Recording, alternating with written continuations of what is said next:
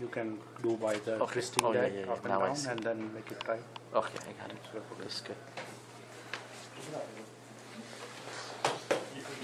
You're coming back or not right now? I'm coming. So then I'll, I'll sit back here.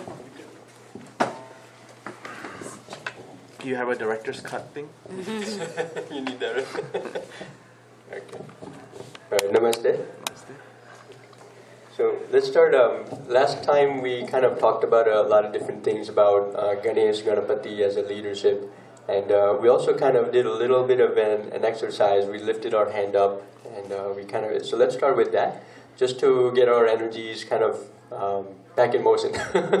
so um, we can just lift our hands up as as you can, and uh, we're just going to say, uh, just go ahead and just as you can open your mouth.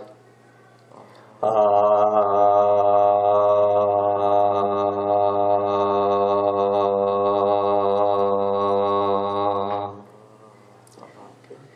Um, so now we also, you know, in our culture we say Om, right?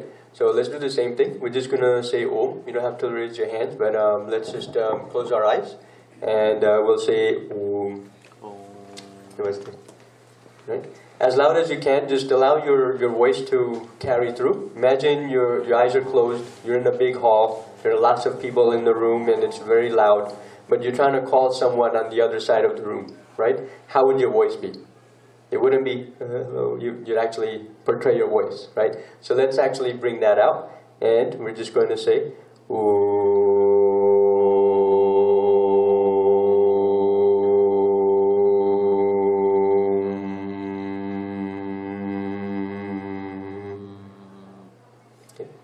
more time. This time, um, take a deep breath in.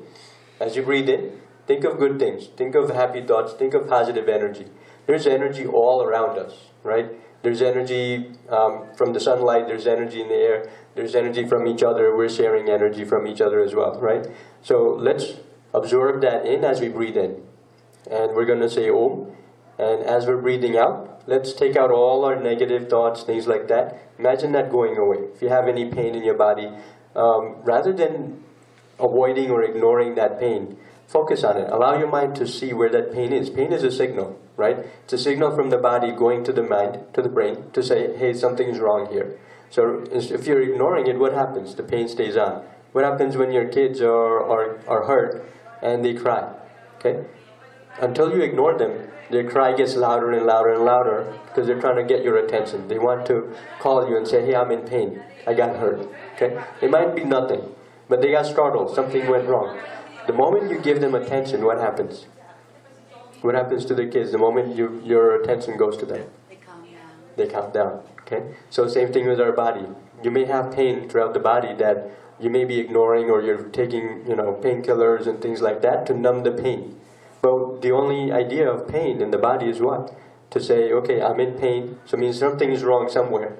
And the moment you focus on it, you put your attention on it, then your brain says, oh, okay, I know there's pain here, and it sends chemicals it needs to send. Your body has all the chemicals it needs. It's, it's a known manufacturer to send the chemicals it needs, to send the medicine it needs, to send the healing energy it needs to that area, to relax it, to focus on it, and then the, the healing process happens on its own. We're not doing that. There's something going on already automatically, right? So let's keep that in mind. Appreciate that process that we're not in control of. We're not even aware that happens, but it's happening. Okay, it's automatic. Um, our eyes blink how many times a day, right? We don't have to think about it. We're breathing constantly. But what happens with our breath? It's shallow. The moment I say, okay, focus on your breath, what happens? Suddenly you just take a deep breath. Or you might yawn because you realize, you know what? I needed energy, I needed oxygen, and I'm not taking enough in. When you take a deep breath, the oxygen goes through the entire lungs inside your body, right? What happens then? So there's a whole process that's happening simply from the breath that you take in, and you're taking in that energy. So let's do that, and um, we'll do Om, and then we'll continue from there. Okay, so take a deep breath in. Om.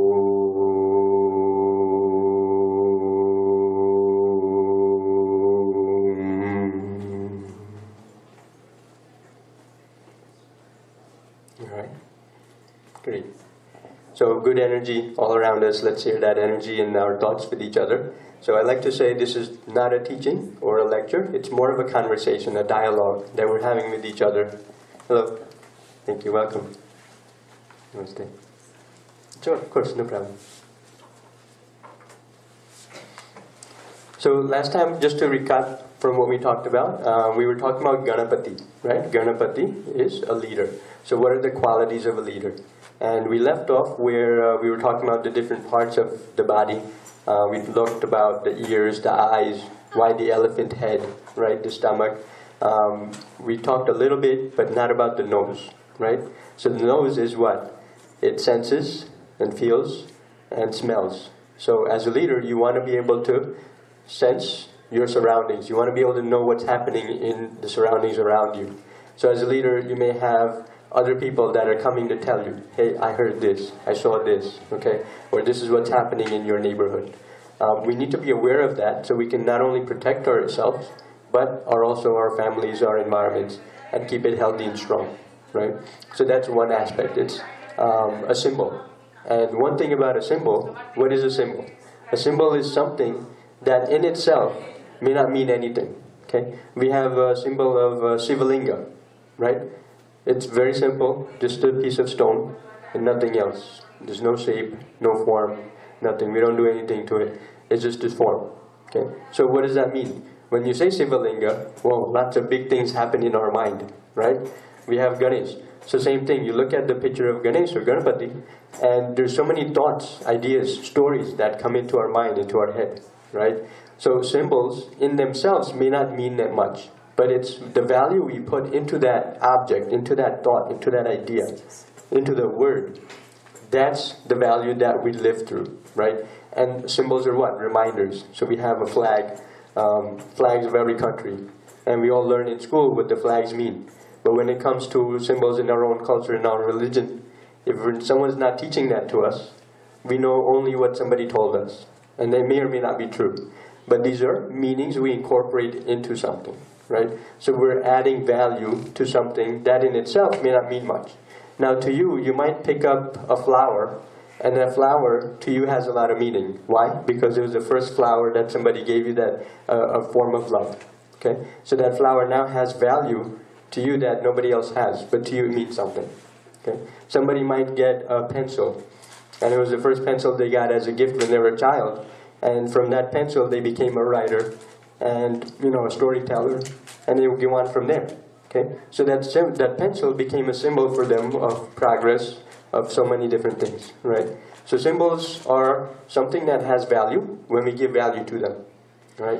If I gave you a symbol and I said, "Look at this speaker," Okay? To you, it might not be much. But to me, the speaker is how my voice is getting carried to all of you. Right? So to me, it may have a great value. To you, it may not. So different symbols have different meanings and values. Why? Because we incorporate that into them. So Ganapati is a symbol that we kind of started with. Um, one of the other symbols, right? So along with Ganapati, what's about the tooth? There's a broken tooth, and there's the full tooth of Ganesh, right? So any ideas as to why, or do you know the story? As to why Ganapati has one broken tooth? You know?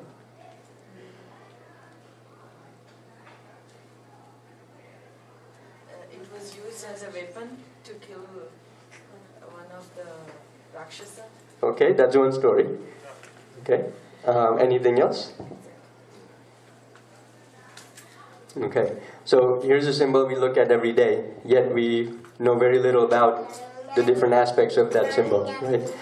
So uh, one of the stories is Mahabharata, right? Who uh, wrote the Mahabharata? Do we know the name, who it was? Vyas, right? Ved Vyas. So Ved Vyas was writing the Mahabharata. Now, Ganapati was chosen to be the one. You know the story, right? How about you tell us?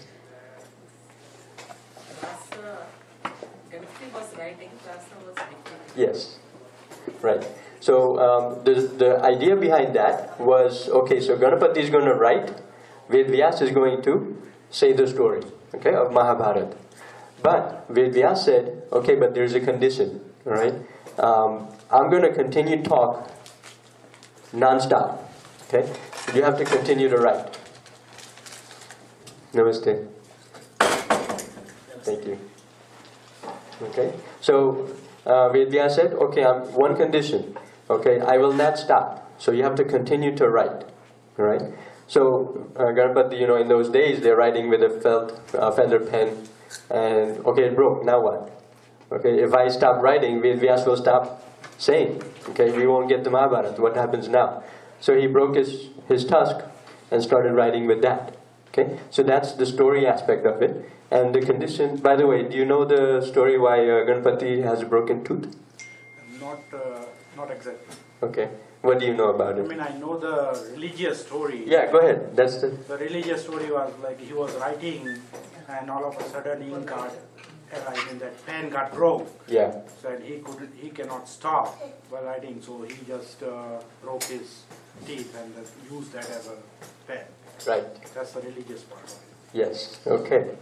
So exactly it, right? So that's the story we all know about, that um, he could not stop while he's writing, otherwise Vedvyas would not continue uh, saying the Mahabharata. So he broke his tusk to continue writing.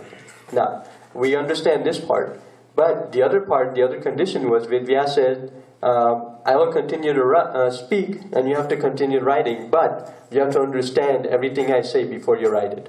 Okay? That was kind of smart on Vedvyas's part because if you're constantly talking, Mahabharata is very long, right? You need to take breath, you need to kind of pace yourself. So it gave Vedvyas some time because now Ganpati couldn't just write whatever. Okay? He needed to understand what he's writing before he writes it. So it kind of slows him down a little bit. And it gives Vedvyas time to kind of take his breath and, and speak the Mahabharata. So uh, an aspect of this of this symbol is understanding, being able to know what you're doing before you do it, right? That's something that's great at teaching in terms of the symbol itself. What is the Ganpati symbol teaching us, right? It only has meaning if we know what it what we are putting into it. Okay? If I look at Ganesh symbol every day, I pray to it, we do pujas, right? Um, the story is anything we do in our life, first thing we do, we pray to Ganesh, right? But most of the time we don't know why we do it. We do it because, oh, that's what everybody does. So I should do it. That's the tradition. We have to follow this tradition, right? Who says that? Oh, our ancestors say that. Oh, all these uh, rishis, and, and if, if rishis are saying this, it must be true, it must be good, I gotta follow it. That's good as a, as a student. Okay, when you're a child, like right now, if she wants something, she's going to go to mommy, right? So there was a question that last time somebody posted, and there was a great question, like you mentioned last time, that you know um, it's great to understand something and then do it, right? To learn and then follow. But as kids, um, you cannot expect kids to understand everything, right? So as kids, we tell the kids here, you need to do this, you need to take this step, you need to follow this way. And as a child, they're going to follow and they're going to do it. Not because they understand it, but because mommy and daddy said so. Right? Um, they don't have their thought process developed fully yet. And as a child, that's okay. Okay, we want that because it's in a protected environment. We're doing it for the betterment of the child. You know, uh, we want to protect the child. So if the child is kind of trying to balance on top of this table, it's dangerous. So we're going to say, no, don't do that. And we're going to punish the child if the child continues to do that. So that's great. Okay? So same thing in our culture, in our religion. We have lots of text. We have lots of great wisdom and knowledge. But what good is this knowledge if we don't understand it? Okay? So as a child, yes, we should follow what our teachers are telling us, what our gurus teach us. Okay? Follow it because if they say, okay, do japa. Okay? And you do japa for five minutes every day in the morning. Okay, I'll follow it. Why? I don't know, but I'll find out as I go. But I trust my guru. He's giving me something to do. I'll do it because I trust my guru. So as a student, that's great. As you mature as a student, your next step should be, why should I do this? Is it helping me? What am I getting from this? Right? Now you look at uh, a child like her age, four, five, three years old, versus a child in high school. Okay? Try to tell a high school child, I want you to do this. What's the first thing they're going to say? Why? Right? They're going to say, why? Why should I do it? They want to know. They're curious. Our minds, as an adult, what happens? We went through the same process when we were young. Now we get older, and what happens? That why is forgotten. Okay, we're in a routine, we just do it. Okay? So we've got it to a point where we just follow. Everybody's doing this, I gotta do it. Okay? We don't want to do that. Because by doing that, if everybody falls down the cliff, our future is what? Falling down the cliff. So we need to kind of see for ourselves. We need to, we have eyes. We have eyes, we have a mind, we have an intellect. And we talked about last time that Ganapati's head was cut off. Okay, so we know the story. Oh, Bhagwan came, wanted to go inside. Ganpati said, no, okay, you cannot go inside. Now Shiv Bhagwan knows this is my home. Ganpati has never met Shiv Bhagwan. Doesn't know that's his father. So he says, nope. His mom told him, you're not allowed inside. Okay, don't let anybody in. So that's what he does. Never thought to question, who are you? Why are you here? Um, you know, my mom is taking a bath. If you want to wait, I'll let her know. And then once he's ready, you can come inside. None of that happened. So Shiv Bhagwan cut the head off. Now, the question in our mind should arise, okay, that's a story that's great for kids. But Shiv Bhagwan, we say he's Bhagwan, he's, he's God. So if Shiv is God, then God knows everything. He's almighty. He's everywhere. He's omnipotent, omnipresent, right? We have all these meanings and words. What is the value of those words if we don't think about it, if we don't understand it? Now, this way, if you think about it, oh, wait a minute. He's Bhagwan. He knew that's his son. He's, he's all knowing. That means he knew that mom said to him, don't let anybody in. So Shiv Bhagwan knowingly still cut the head off. So there must be a reason why he did that. So does anybody think of this? Why do we think Shiv Bhagwan would do that? What do you think? We know the story, right? We know we know this is what happened. But why would Shiv Bhagwan cut the head off? Uh, there should be some reason that uh, the elephant uh, was born. Uh, the elephant was born uh, like as it is. Uh, it, was expecting to be with Shiv Bhagwan. Okay. So then, uh, uh, in such a way, it happened. Like Okay. So we have lots of different stories that come out, but the meaning is forgotten, right? We think this is the story, it must be true, we tell each other stories. Stories are great to help us remind us because stories are easy to remember, right? Symbol, one little symbol, we talked about symbol of uh, the McDonald's M, right? That one symbol, M, that's all. They just need to flash it for 10 seconds, 2 seconds, but we all know that symbol. And it has value to us. Oh, I remember going to McDonald's when I was a kid. I remember having french fries there. Oh, I can still smell those fries now, right? So symbol has so much value once you know what it is. But our own culture, our own tradition, our own symbols, we have so many. We know the stories and we forgot the meanings. Okay? So we, we should continue to ask why. Okay? We're like the teenagers. We should ask. Our minds are young. Once we know why, if I can explain to you, you know what? If you do this, this, and this, you're going to get this. Now there's a result attached to it. Okay? I have this goal. If I achieve this goal, I'm going to get a degree, I'll have a job, things like that. So there are goals that are there. Now the symbol, Ganesh, right? So at that time, they knew elephants, animals. Elephant happened to be one of the intelligent animals during that time period, and it was understood and known, right? So the idea is, Shiv Bhagwan is saying that, look, if you don't use your head, you're going to lose it.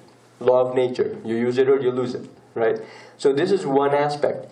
Now, as a symbol, we should start to question and understand what are these symbols, what do they mean, and now can I incorporate into my life? Okay. So, as students, yes, follow what we're taught. Do as our gurus are teaching. Then start asking questions. Is this helping me? Why am I doing this? And there's so much more knowledge and wisdom we can gain out of practicing. Okay, so practice comes into play. If you don't understand it, continue to follow because you trust. But as you're doing, you begin to get experiences, and those experiences is what validates to yourself. Uh, yes, you know what? Doing japa is helping me focus. Okay? How easy it is for me to look at that red bow over there, or to look at this, or to look at anything. Okay? Or just stare at this one point. How long can we do it?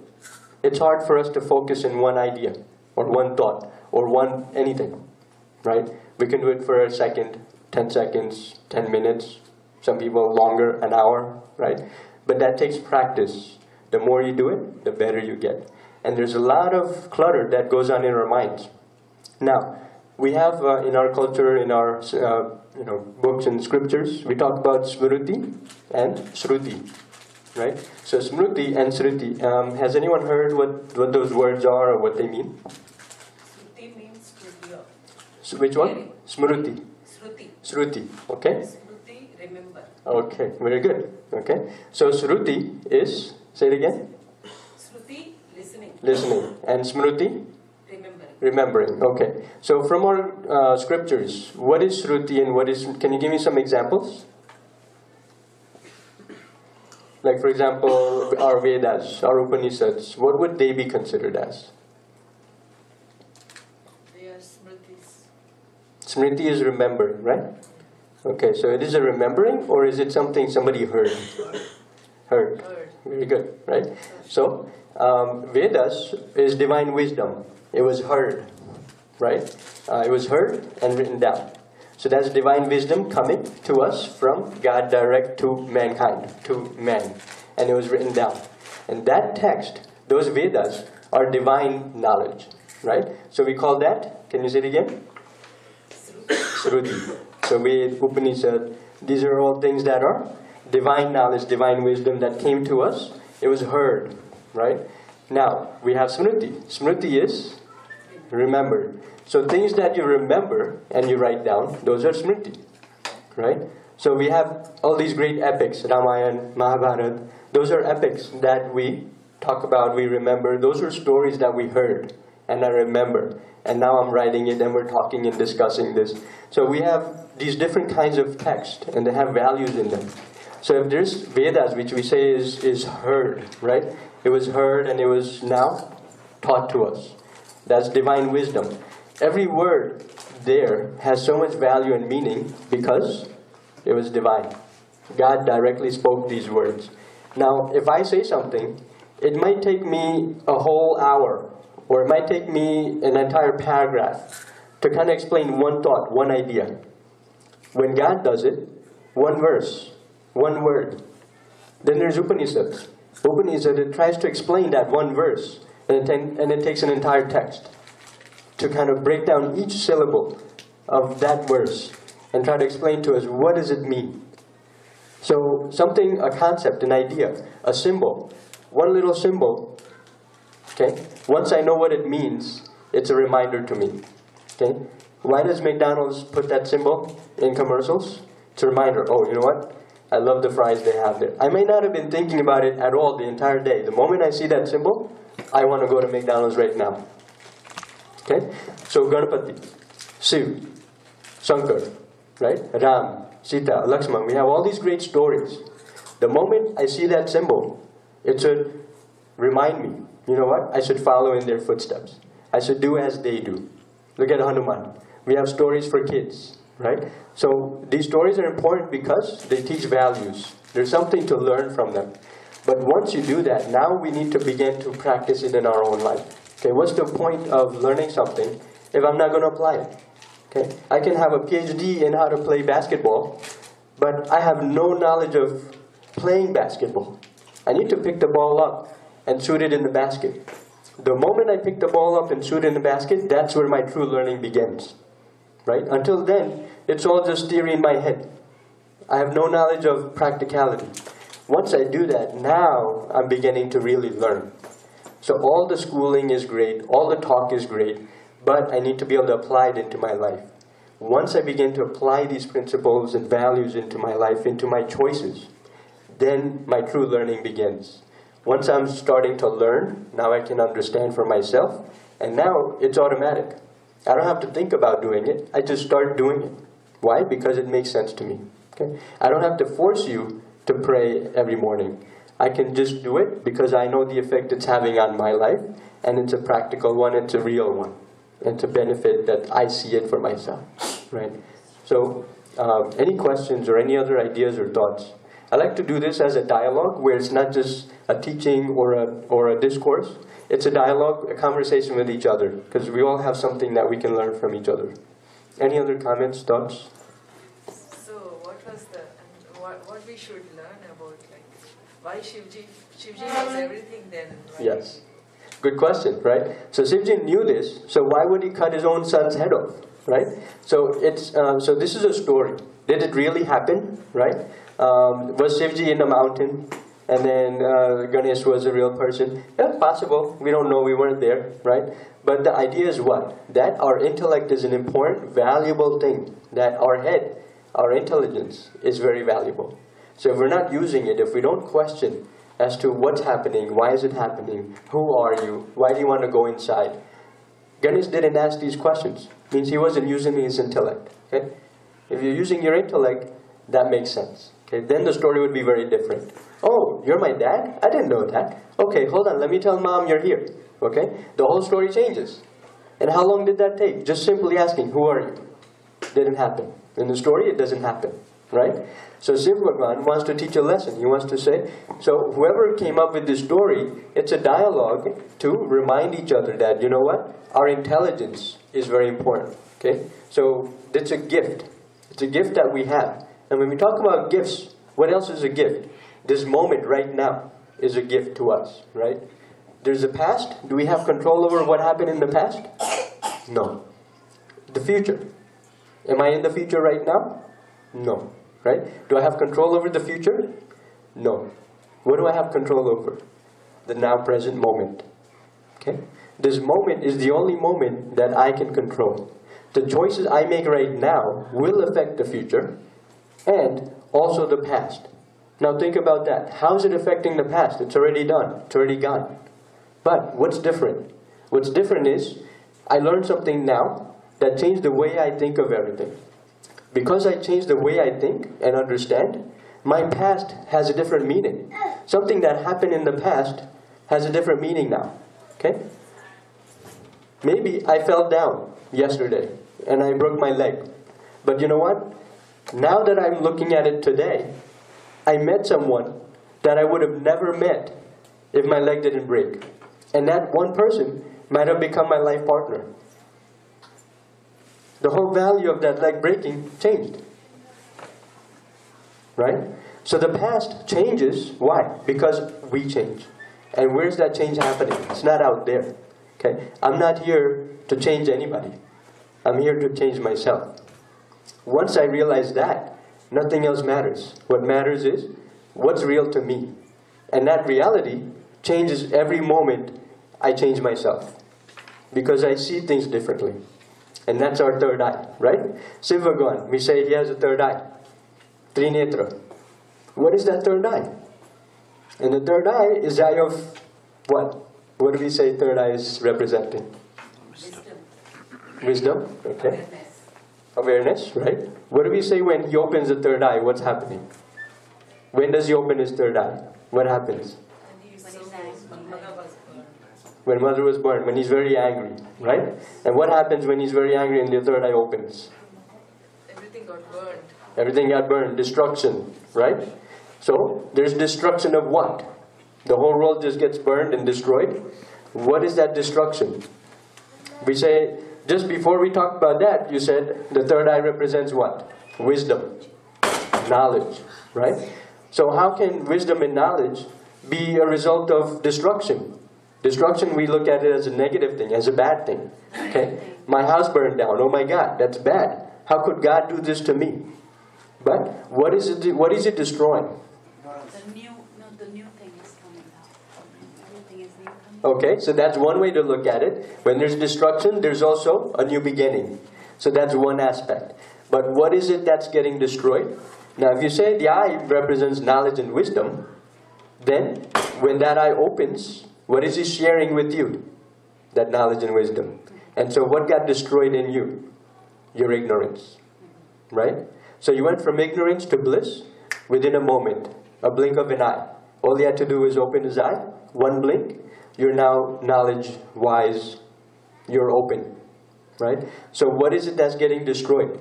It's our ignorance. So, every moment you're living your life, every moment you're breathing, you're thinking, you're doing something. Now, action, right? Karma, karma yoga. We talk about karma yoga, bhakti yoga. Karma is action. Now, can anyone here say that there's a moment where I'm not doing anything? Can you think of a, a time that you say, I'm doing nothing? Is there a moment like that? When we meditate, No.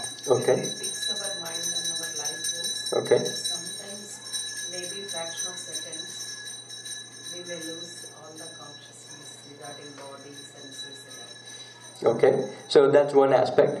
But if you think of action, what is action? Right? Action means there's something happening. There's a change from one moment to another moment. And that change is an action, right? So if I move, I'm acting. If I'm moving my hands, that's acting. But what about thinking? Is thought an act? Thought is an act. Okay? Thinking means I am doing something. So I am thinking, okay, that means it is a, an act. So even the word itself, thinking, means there's your there's a supposition that I am acting. Okay? So even a thought is an act. So there's no moment in our life where we are not acting. So action is not an option. That's part of the way we were made. So what is an option? Okay, I know I have to act. I must act. But what is the choice I have? What act will I take? What will I think about? How will I think about it? What will my next step be? Okay, do I want to go this way or do I want to go that way? Do I want to go straight? Do I want to jump up? Do I want to bend down? Those I have options. Okay, so my only option is what action do I want to do? And in order to know what action I want to do, okay, what's going to help me? What are the tools I can use to decide on the action I will take?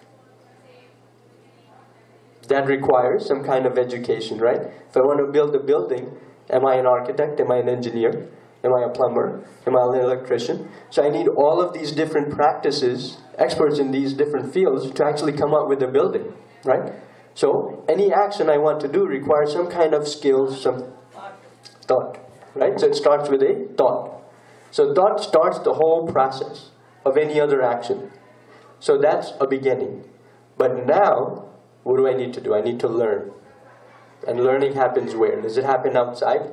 Does it happen, if I want to learn, is it happening in you? Or should it be happening in me? In myself. Right. So if you want change, I want to change the world. I'm going to go around and change the whole world. Okay? If anybody doesn't like what I want, I'll destroy it. Change happens inside myself, right? I cannot force somebody else. I can, you know, a young child, I might be able to force them while I'm there in front of them and I can fear them into doing something. The moment I leave the room, do you think they're going to do what I was telling them? No. They'll continue what they were doing before, right? So, force can be a temporary action. But if I actually want something progressive, something real, then it has to happen inside myself. And that's a choice, that's a decision. Once I realize that, you know what, there's something in me I need to change, then change can begin. And how did that start? With a thought. So anything we do, if we start with this idea that, you know what, there's something more than me, there's something greater than myself, and I don't know what it is, but I know I'm not perfect. I need to change. Once I have that realization, then the rest, God helps. Okay, and we have all the symbols, all the great traditions, all the scriptures. We have Sruti, we have Smriti, right? We have gurus who understand this knowledge and wisdom, and we listen to them. But the next thing needs to be, I need to follow in that footstep. Once I start to practice it, now it becomes real in my life. And once it becomes real in my life, it's not in a practice, it's not forced. I just automatically do it. Okay? We brush our teeth every day. Why? "Oh, I'm lazy today, I don't want to brush my teeth. Well, why do we do it? Because I know if I don't, there are germs in my mouth, and I don't want that to continue. So we've been ingrained, we've been trained when we were young that I want to do this because there's a benefit to it. So same thing, prayer. Why do we do prayer? Why do we do japa? Why do we do meditation or yoga or anything else? Okay, these are all different aspects of ourself. As a human being, I'm not just a body. I'm not just a mind, right? I'm not just one or another. I'm a combination of many things. And much of what I am is not a thing at all. Okay, and we talked about a little bit about Maya. Maya is an illusion. So this whole world is an illusion. Why do we say that? Okay, is it really an illusion? And it's an illusion to who? We talk about, okay, what do you see? Okay, I gave this example last time that if I ask you, what do you see? Okay, you can describe it to me. But I'm going to say, no, you're all making that up. There's no way you see all of that. Can't be true. Why? What am I looking at? I'm looking at this. So if I only have one perspective, and if I say that one perspective is the only truth there is, guess what? That's a flaw in my thinking, not in the flawed reality. Right? Somebody who's sitting on the corner might only see this part of what I'm showing. Okay? So if you're seeing this, then all you see is that reality. So, depending on the angle you're looking, depending on what you're looking at, reality for you changed. So, did the reality really change or your perspective changed? Perspective changed, right? You broadened your perspective. So, which means what? Your mind needed to be an open mind, right? So, if your mind is open, then there's learning that can happen. But if your mind is closed and you say, I know reality, I know what I see, and I trust my, what my senses, okay? My senses are not going to let me down. My eyes are perfect 20/20 vision. I could see everything clearly. So because I can see everything clearly, I have 20/20. My doctor said my eyes are great. Okay? So whatever I'm looking at is perfectly the way it is. Is it really? No. Okay? We look at animals. Animals see things differently than we do. What about bats? They can see in the dark. Are they really seeing? There's a different technique that they're using to be able to move around where they are. But the vision that they see is not the vision that we see. A person that's colorblind might not see the color red. Okay? That has to do with the structure of the eye itself, and something might be off. But their world is very different than the world I see. Somebody that's totally blind, their world is very different. They have a higher sense of hearing. They could hear things that I don't. What about dogs? Dogs can sense somebody coming a mile away. How is that happening? So it's the same world. We all live in the same world, but we see things differently. We see things very differently from each other. And that sight is a reality on the way I'm thinking, the way I'm observing. So if I know that this is the only reality there is, then that's my flaw. That's something I'm missing out on the rest of the world, right? So the more I open myself to learning, and I say, I don't know everything, that's a realization has to happen inside ourselves. Once we do that, now I'm open to learning. Okay, if I say I know everything, then there's nothing to be taught. I know everything. So my mind is closed. If my mind is closed, you have a cup full of water, and you go to somebody and say, Can you fill this water up? Can you fill up more water in there? What happens? The water spills out. It's not going to go anything. Everything spills out. Why? Because it's already full. So if I go with an empty mind, does that mean I know nothing? I know something, but I don't know everything. And that's a wise person. A wise person never says, I know everything. A wise person says, I know nothing. Okay? There's a whole world of knowledge to be gained from that. We looked at, uh, last time in our youth class, in our uh, Gita class, we talked about what is real, what is not real. Right? You remember that? Can you tell me about it? Um, about how Arjuna asked Krishna, um, um, which, uh, which, um, which type of, uh, which, uh, which he should do. Um, should he think everyone, everything is an illusion, or he should just, um, take his mind, um, put his mind on Krishna and worry about nothing else. Okay. So in our youth class, thank you. Thank you. We were talking about uh, Gita, Bhagavad Gita, chapter 12, and we were looking at reading verses 1, 2, 3, right? Where did we leave off at? At number 3? Okay. So there's a conversation Arjuna is having with Krishna Bhagwan that, you know, who is the greatest? What is the best?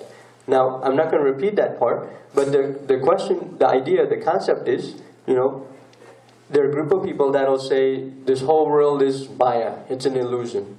Okay? So if we look at that, you look at a molecule, a cell, any wooden piece, any structure, okay? When you actually look at it, it consists it consists of a nucleus, right? Has some uh, electrons and protons and things like that. Now, what's between that electron that's spinning and the actual nucleus? Empty space, right? But if you have a yo-yo and you start spinning yo-yo really fast, what happens? What do you see? You see a big circle, right? And if you try to touch it with someone spinning it really fast, will it hurt you? Yeah. It will, right? And does it matter where you put your hand? No. Why? Because it's spinning so fast, it looks like it's a solid. And so, the illusion is, it's a solid. It's really not. Uh, Deepak Chopra had a statement, he said, all of this reality is 99.9999% empty space. And that's a physics, right? So that scientists that are looking at this saying this. So if it's all empty space, then what's real? Okay? We're, our bodies are all made of this, and so our eye is looking at this, is programmed to see what we're looking at. But that's not the full reality. So what is real? And so there's a group of people that will say all of this is Maya, and so why should I focus my attention on that? And so we have, can you remember? We had uh, Bhakti Yoga and, do you know what the other one was? We kind of started talking about it, we didn't really do too much in it yet. Okay, so that other aspect, the people that follow in this tradition is Gnan Yoga, right? So they want to go with the basis of learning, educating themselves, what is true, what is real, and everything else is not real, I don't want to focus on it. And that's a very difficult path to follow. Okay? Because, yeah, it's not real, but if a bug bites you, do you feel it? So the moment you get a bug bite, yeah, it's not real, it's not real, it's not real, you're still going to cry, you're still going to feel pain. Okay? So it's hard to follow that path. The other path is Bhakti Yoga. And Bhakti Yoga talks about love, right? Now, we had an example last time about what? Do you remember? The iPhone Yeah, and go ahead.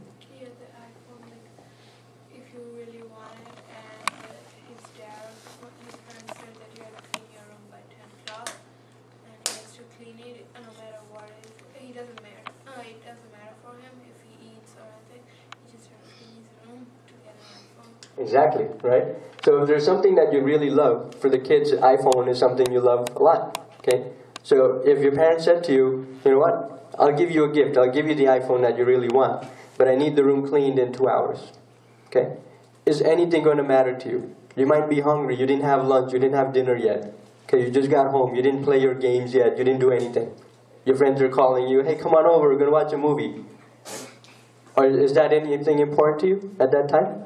No. Where's your focus? on, On the iPhone. Okay?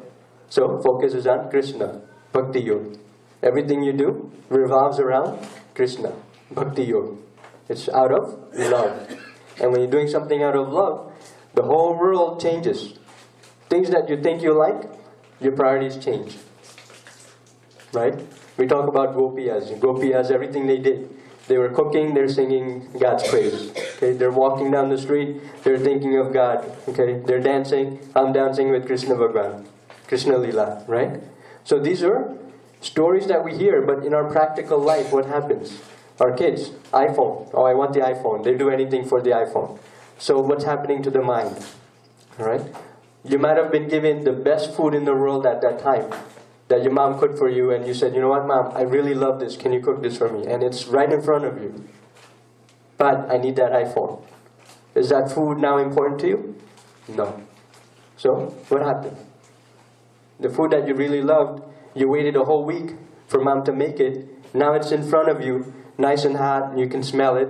It's right there, all you need to do is eat it. But, no, I gotta get my room cleaned. Right? So your focus changes. Why? Because it's out of love. And so that's an easier path. Okay? You didn't have to think about it. You didn't have to do anything particular.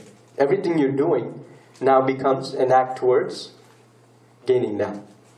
So anything you do for Krishna Bhagwan now becomes a selfless act. It's not now, yes, iPhone, I did it because I wanted it.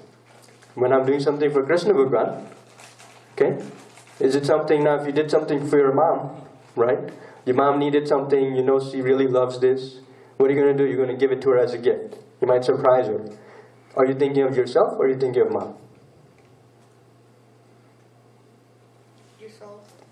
So if you know your mom needs something and she really wants it, and you want to give it to her as a gift, okay? You're going to go out of your way to go figure out how to get it, right? You're going to look for a way to wrap it, to hide it from her. But are you thinking of yourself or are you thinking of mom and what she likes? Mom, right? So when you love something, when you love someone, everything you do now gets revolved around that. And so my entire life becomes a life of Bhakti Yoga. Right? Now, Bhakti Yoga is one aspect. Gnana Yoga is another aspect. Does it mean that, well, I have to choose one or the other? Well, can you do bhakti? Can you love someone without knowing them? No. So, knowing is a part of it. Now, in the act of doing, you learn more. Okay? You live with your mom. So you learn and you're doing an everyday thing. So that love is ingrained, it's coming through automatically. But at the same time, you also learn about your mom, right? So if you love something, if you love someone, you want to know everything about them. You want to do whatever you can to please them because you know that I love them. So, and where's this God? Where's this Krishna? He's not out there. Okay? He's right here. We do namaste. So these are all things in our culture that we do. What is namaste? Can you tell me? What is why do we say namaste to each other? Um, like uh, to get the to get sacrificed from our own ego. Okay. Um, and if we bend to somebody, it, it feels like um, uh, like uh, our egoism is put down, like when we do uh, nam, namaste, Mm-hmm. like our ego Yeah. out. Okay, very good. Anything else? Did You say namaste to anybody? Okay, why why? To get their blessings. Okay. Anybody else? How why would you say namaste to somebody? I am giving respect to the God within you. Very good. Yeah. Okay. Anything else? Like here, we shake hands, right? In our culture, we do namaste. What would you say? Why would you do namaste? Respect and love. Okay. How about you? What do you think? To give them respect and give them greetings, like how we say in English, hello or bye. Right. And in the same way, in our language, we say like to make feel better or better. Very good. Okay, all great answers. And it's taking to the point that, well, okay, I'm buying down to somebody else. Okay. Now, one of uh, another uh, group I was talking to, um, this person really had a very strong point that you know why should I bow to another human being? Okay, they're human just like I'm human. I'm a man, he's a man. Okay, woman doesn't matter. But why should I put my head down to somebody else? To God, I understand. Okay? If I believe in God, I don't believe in God. But if I believe in God, I want to bow down to God. Okay. But why to another human being? Okay? And we gave some answers that we want to respect them. We're saying we're bowing down to the God within the person, right? So God is within all of us, in myself, right? So that should lead us to thinking in a practical way that, okay, if God is within myself, then what do we call a place where God lives? Temple. Exactly. Right? So we do we go to temples? Churches? Mosque? Masjid, right? Place where God dwells. How about ourselves? Our own body? Is it a temple? Do we think of it that way? No. But is it? Okay. So how did I go from you saying no to yes within a second? Because you said that um, God is in you, so and God um, lives in every human being. Yes. So, um, so we are a temple because God lives in us and God lives in the temple. Exactly, right? So, temple is the place where God lives. Okay? So, great. Now, before a second ago, we thought, no, we go to temples, okay, there's God within each of us. So, that should lead us to the next step. Okay, that means God is within myself. So, if that's true, then that means this body is a temple. Now, when we go to a temple, is it clean? Okay? Do we keep dirt in there? How about our bodies? Do we put dirt inside our bodies? Do we eat junk food? We love junk food, right? Tastes great. Okay, so we put that in our body. How about all the clutter of things that we hear? Stories of people, the news we hear, all the different things, gossip. Okay? Do we allow that to go into ourselves? We do, right? So, we talked about Ganpati as a symbol. Now let's put that together. Ganpati, yes, listen to everything that's around you. You need to be aware. But then, as a true leader, what does a leader do? Leader is able to filter that information, right? Do we use filters in our home for water? Why? We want to keep the dirt away and get the pure water. We want to keep our body clean, our environment clean, right? So thinking good is great, but that should result into an action. And that action should be good. Why? Because that action is good, that means the result will be good. And if I have an environment in a temple, it's a great environment where our goal is the same. What happens in our home? What happens in our own body? When we sit down and we talk of meditation, close your eyes, what happens? Do you just have one thought? One thought leads to another, that leads to another, that reminds you a story that you had with somebody else five years ago, that reminds you of an experience you had 10 years back. And so, our mind is constantly jumping from one to another to another. And did that take time? Happens within seconds. I can be in India, and two seconds later, I'm in Mars or Venus, or I'm going into a galaxy far, far away. And that reminds me of a movie I saw, right? And I'm talking about time and space. And then it reminds me of a friend I was talking to who had an argument with me, and we had a heated discussion. And all these things, feelings, our body chemicals change as well. So I could be sitting in one place quietly, nobody knows what's happening inside my mind. But there's a whole entire chemical reaction happening from where I'm going from happiness to another moment sadness, to another moment anger, depression, right? Happiness, joy, bliss. So our goal is there. But within moments, we jump not only in our thought process, but also in our own chemical reaction that's happening. We could be sweating. Somebody could walk by and say, You're just sitting there. Are you okay? Do you need to go to a doctor? Do you need medicine? Right? What's happening? How's that happening? Simply by a thought process. Now, what if we could control that thought process? Okay, so we look at the, the rays of the sun, right? So we have sunlight. We stand outside when it's nice and sunny, we get that warmth, we get a good feeling, right? So that's great. We get the light, that feels good, looks good. We try to replicate it indoors as well, right? We try to get sunlight inside. Now, what happens when you take a magnifying glass and you focus that sunlight? What can you do with it? What happens if you take magnifying glass and you point it at something with, with the sunlight? Like if you point it at a leaf, like a dry leaf, it's gonna a fire can start. Right? So it's the same sunlight, but what happened to it? Okay, how? By the magnifying glass. So magnifying glass, what did it do? collects It, and uh, right. Okay, so the magnifying glass focused that sunlight. It's the same light, the same energy that's all around us constantly. But the moment I put a magnifying glass and aimed it at something, wherever I aim it, what's it doing? It's taking that same energy but intensifying, magnifying it. Okay? So it's sharpening that same energy into a point. So when we talk about meditation, we talk about yoga, right?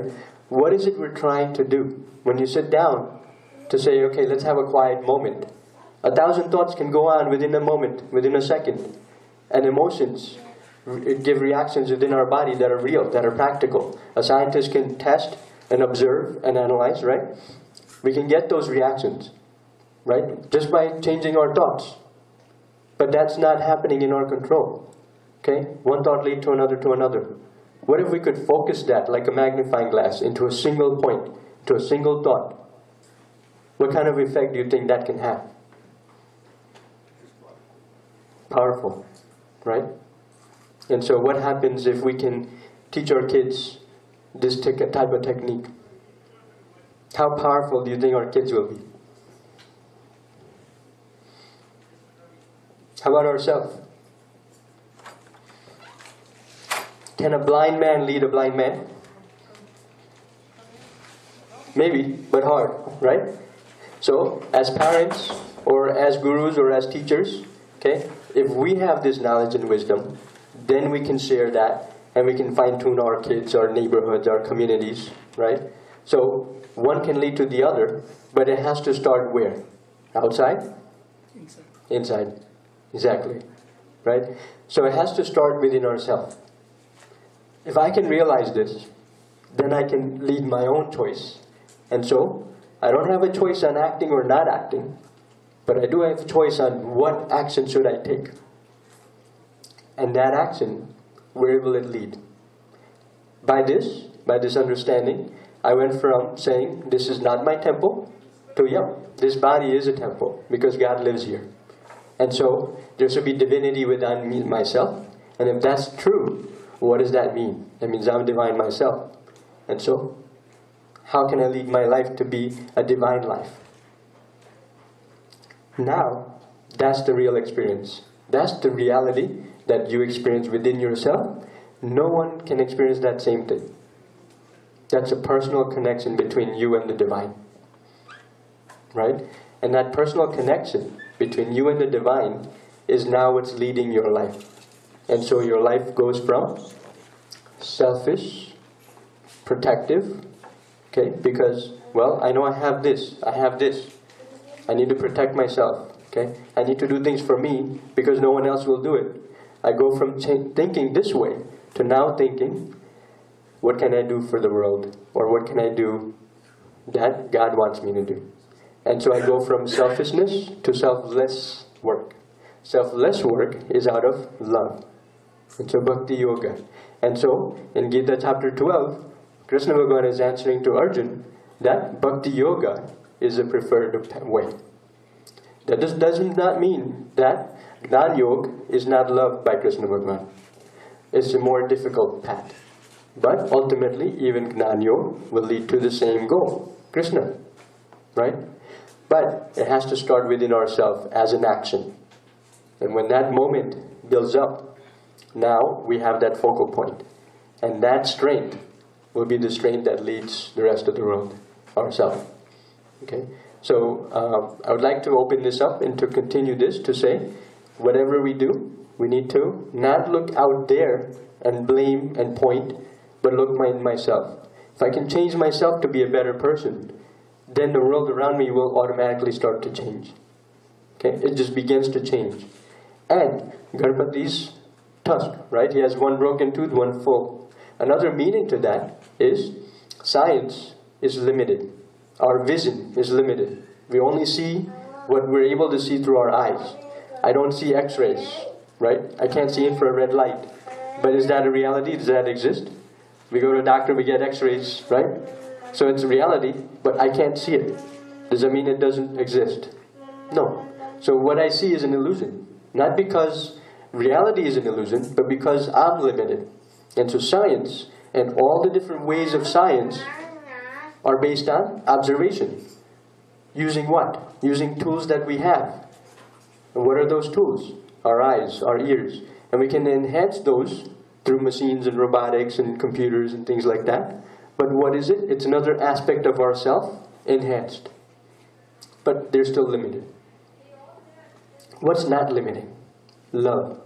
Does love have any limits? No. So, Bhakti Yoga talks of love, devotion. Thank you. So these are paths. Okay? Neither of them is wrong. We need both. We need to have a good understanding of what's around us because we do have this body and until I'm living I need to protect it. I need to take good care of it. Okay? Now I consider this to be a disciplined freedom. We talk of freedom that I want to do anything I want, whenever I want, however I want, with whoever I want. Okay? But if my leg is broken, am I free? If I'm deaf, am I limited? Doesn't mean I can't do anything, but any part of my body that's not full and complete and whole and healthy is going to lead to some kind of difficulty and limit my freedom. So what about my thoughts? Okay, if, I, if those are limited, no, right? So in order for me to expand myself into myself, I need to be open-minded. I need to be able to learn from each other, learn from nature. There's learning that can happen all around. Okay? I can learn from my experience to say, you know what, I fell down, but why did I fall? Okay, next time I'm going to avoid that. All right? If I know something is coming up in front of me, there's a big ditch in the road, I can go around it. Okay? Learn from water. Water, nature, right? Water. Uh, give me some properties of water. Yeah. Ice. Okay. Water vapor. Okay. What are the three stages of water? um, solid, liquid, and gas. Right. So water can behave as a liquid, solid, or gas. Now let's talk about the liquid part of water. All right. Um, you have it in a bottle in front of you, right? What shape does that water have? The shape of the bottle. Yeah. What if you put it in a different square bottle? What shape will the water have? Right. Thank you. Right. So does water have its own shape? Yeah. Oh no, it changes into the shape that is. Right. So it's fluid, right? Wherever it is, it can take that form. Okay. You can create any any kind of form, any bottle you want, pour water in it, and it'll take that shape. And then what if you freeze it? It'll hold that shape, right? So that's a quality of water. Now, if water is flowing in a river or in a stream, what if there is rock in the middle? What does the water do? Does it stop say, "Oh no, I'm stuck"?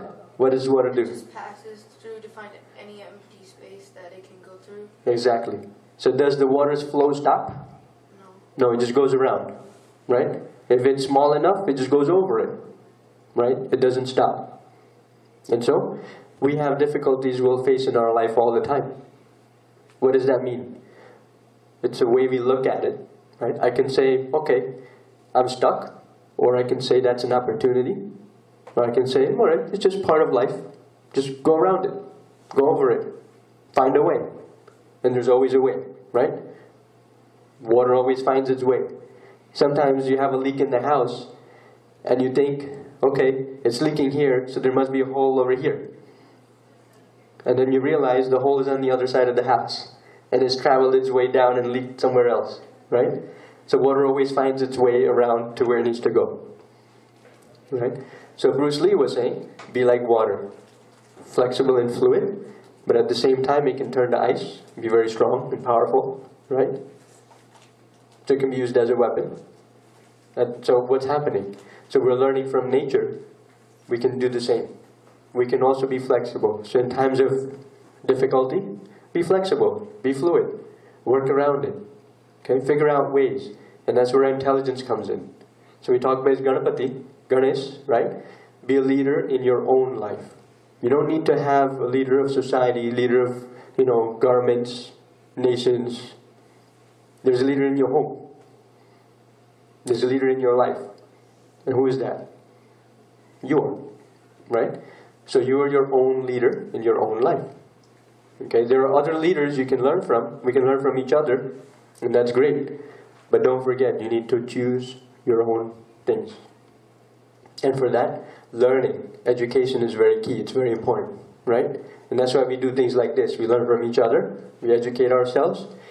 The more I know, the better choices I can make. So if I want to make a better choice, well, how can I make that if I don't know? Right? Yeah. Thank you. So can you read uh, number four out of there? Those who have restrained all the senses are even-minded in all conditions, engaged in welfare of all beings. They come in. He also come unto me. Okay, so that was the second part, right? That's the Gnan Yoga. So there's a sect of people that follow the path of Gnan Yoga. And they're talking about that even Krishna Bhagavan is saying those will also ultimately reach me.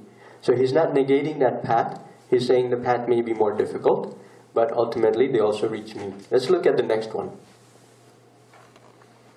So here is the path of those whose, minds are set on the unmanifest. For the goal of the unmanifest, unmanifest is painful to reach by the embodied beings. Okay, so there's a word in there, it says unmanifest. Can anyone tell me what that means? You can see. You can't see. Okay. How about you? What does unmanifest mean?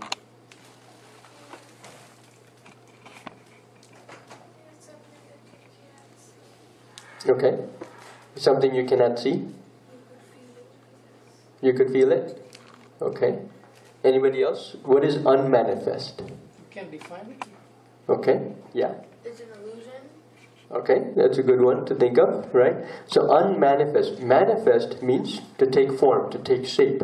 Okay, so unmanifest is one without a form, without a shape. Right?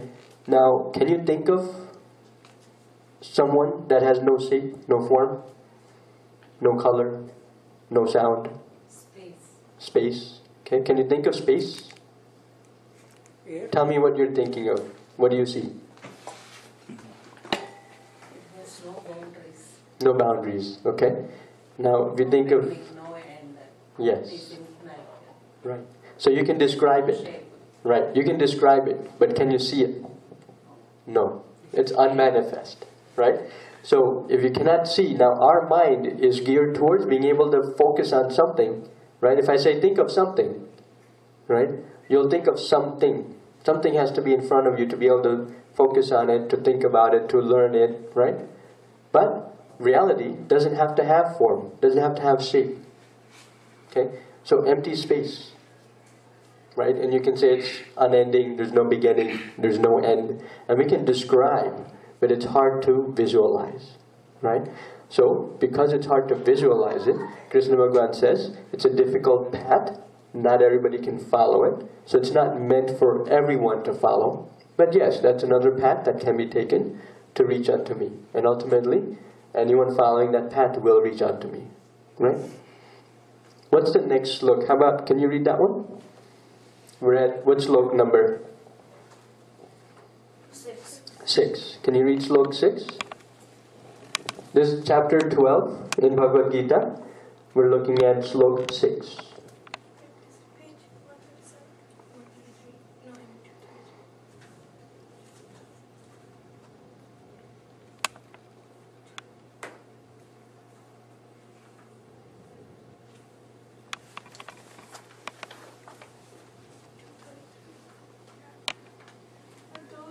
Say it a little loud so everyone can hear you.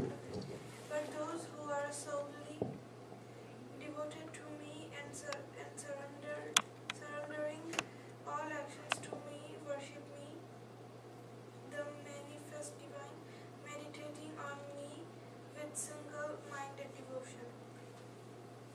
Okay, what do you think that means? What is Krishna Bhagavan saying? I then you need to read the next one after that, right? To get the full thing. Yeah, go ahead. Say it again. Like the devotees uh, devote everything to Krishna. Okay. Yeah. He's saying that um, there's like um, another group of people who um, sacrifice um, their everything for um, God, and they're devoted to Him. Okay. They only have uh, one goal, like just the God to worship them and then make them happy. Okay. All right. So let me ask you a question. So they're uh, talking about bhakti yoga, right? Love, devotion. So can I just forget everything and just say, you know what? I love the iPhone. I don't care about anything. I'm not gonna eat. I'm not gonna brush my teeth. I won't take a bath. Okay. I won't read. I won't study. I have the iPhone. I'm just gonna play with the iPhone all day. Okay. How about that? Is that good? No, No. Why not? Well, if you play with it all day, you need to eat something and you need to like take a break for a couple minutes, because then um, you might get um, pass out. Okay. So you're still living, right? So you still need to kind of do your basic stuff, right? you need to eat, you need to clean your body, things like that. Okay. So anything else? Any other thoughts on that? So Krishna Bhagavan is giving two paths, right? One is Bhakti Yoga, one is Jnana Yoga. Now those aren't the only options, but that's what we're reading so far, right? But is it not ironical that you can't have bhakti without the gyan? There you go. Okay, so it's not one or the other. Okay, now when we're reading, if I want to understand something, okay, um, I'm going to focus on that one thing. But does that mean that one thing is the full reality? No. So as a scientist, I might look in a magnifying glass. I might look at a scope to kind of zoom in on something really small, tiny that I can't see with my eyes to see what's happening. But that tiny thing is inside a bigger thing, right? That cell is a part of my body. And so I can understand the cell, I can break the cell down into all its different parts and pieces. I can understand the functionality of all the different parts of the cell. Okay? So I'm beginning to understand something of myself because this cell is a part of me. It's what makes my body. But is that me? Is that my body? No. It's a part of me. So when we're learning, we need to break things down. Okay? We have a ruler. We look at mile, right? There's a mile, let's say, form of distance, right? We measure things with milliliters and liters and gallons and things like that. In reality, who made this up? Who said this is a gallon? People. Why? They had the, they used like evidence and stuff to figure out how much is like how much is liter, how much is two liters. Okay. And they like- to, like thought that that would be the best thing? Okay. So what if what if um, you said this bottle is one liter, okay? And what if you said no, can't be a liter. This book is a liter, okay? And what if you said no, no, no, this jacket is a liter, okay? Or is everybody in agreement? No. So if you're all studying the same subject and you want to measure it and understand it, and if you all have different definition of what that is, Will you be able to explain to each other what you're doing? No. So there's an established standard that we all agree upon, and it's made up. We made it up. Okay? We all accept that, yeah, we're going to say this amount is a liter, this amount is a foot. Once we have that acceptance, now we can use that measure to measure different things around us, to kind of understand it. But that measurement is a made up thing. Why? Because we need that. Reality is as it is. Doesn't need anything. It's just there. We're just here. In order to understand ourselves, our surroundings, we need to measure. And so I can kind of get an understanding. Oh, he's taller than he is. I had to do some kind of measurement, some kind of understanding. And maybe that means something. Wait a minute. You're taller today than you were a month ago. Oh, that means you're growing. Okay? So to understand reality, we break things down. To understand reality, we break things down and use measurements to be able to do that. Now, Bhakti Yoga, Gnan Yoga, these are different paths. Okay? But as a person, can you go from one to the other? Sure you can. Right? Now, as you're doing something because you love someone, you're going to want to know more about them. Right? Because you love them. You want to know everything. So what is knowing? Yeah. Yeah, knowledge. And the path you take towards it is Gnan Yoga, right? Now I'm kind of simplifying this, but to get an understanding of what does this big word mean. Now if I gave you a word and nobody heard it before, does that word have any value to you? No. Because you don't know what it means. Okay? If I tell you to guess, everybody might guess what the word is, but still there's no value to it because it's not understood and it's not common amongst each other, right? And that's where symbols come in. So word, language, is symbolism. We're incorporating and accepting with each other that yes, this word means this. And if we all accept that, now we just create a language. And we're talking right now in English. We all understand in English because we all learned what those words meant. We went to kindergarten, high school, college, and so on, right? So, we're learning these things. The same way we need to learn and understand symbols within our own life. Okay? Not just because, oh, we have these great saints and sages and they gave us these symbols, so I need to know what they are. No, we need to be able to take the next step and incorporate it into our practice, into our life. Because then that symbol has real value. Right? Great. Let's read, um, you can read the next one. Number seven. Yes, uh, number seven. Jews whose minds are set on me, O Arjuna, I speedily rescue from the ocean of death bound existence. Okay. Um, can you, let's see, who else? Yeah. Um, can I say what it means? Yeah, sure. Um, Go ahead. I think it means that um like whoever um whoever like sacrifices themselves for God, like he can like help them. Like for example, if they're dying in- from um they're dying in the ocean, then he can um help them survive. Okay. How about you? Can you read it another time? Loud?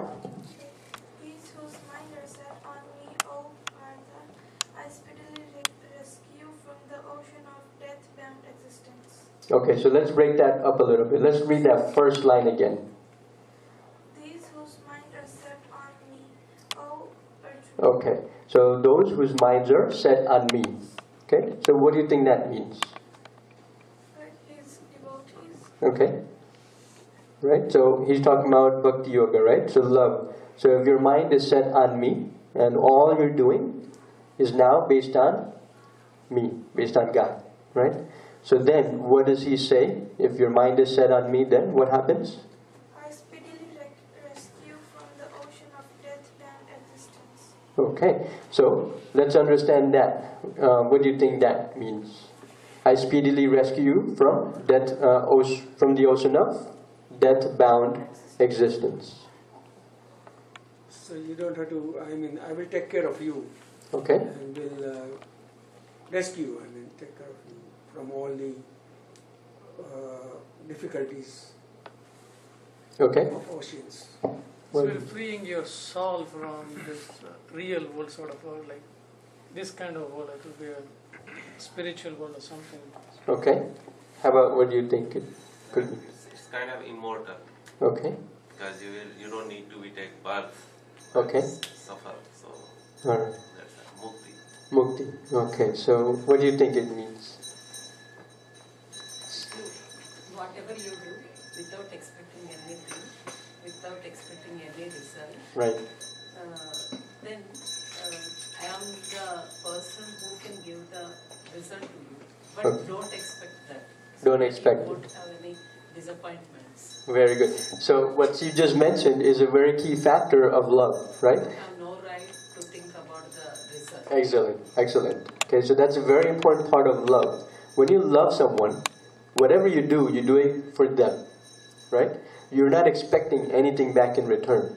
Okay, you did something because you know your mom loves it. You did something because you know this person loves that, and you did everything you could. You spent five hours, stayed up all night to do that, just to see the smile in their face, right? And nothing else. They give you a hug and you're happy. Did you expect anything in return? No. You didn't even think, hey, if I do this, I'm going to get something back in return. Now, what if you thought that way? What if you thought, you know, if I do this for this person, then I'm going to get something back in return? Is that true love? That's not love.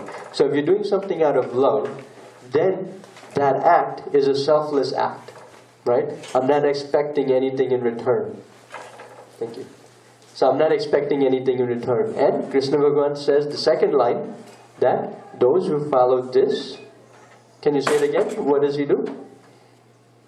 Those who follow this I'll rescue you. the ocean. rescue I'll you from the ocean of ocean death, Death bound existence. death-bound existence, right?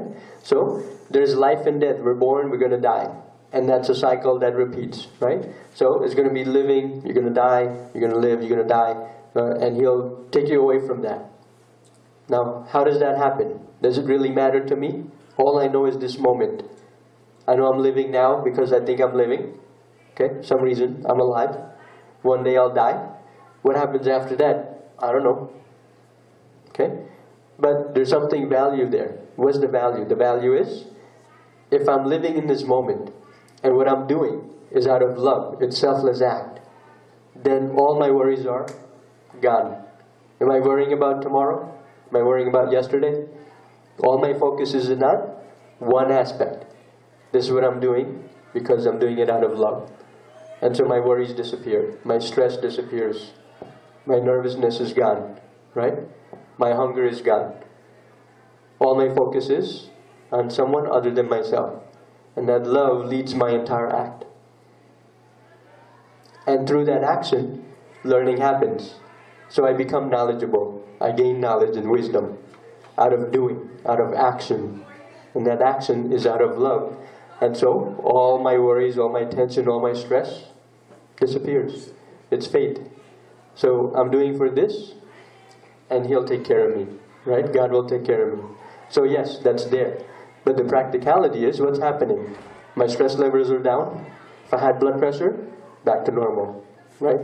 My eating, sleeping, everything. Okay? Just happens. I'm not worried about it. I don't have to plan it. I don't have to do anything. I'm doing whatever I'm doing in the form of love. And so that's one small aspect, one small understanding from me about Bhakti Yoga and chapter 12 so far. Thank you.